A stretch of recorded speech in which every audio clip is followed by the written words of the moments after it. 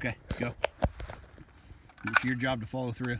So, 9 hundo, full value wind, BR, bushy. Have your way whenever you want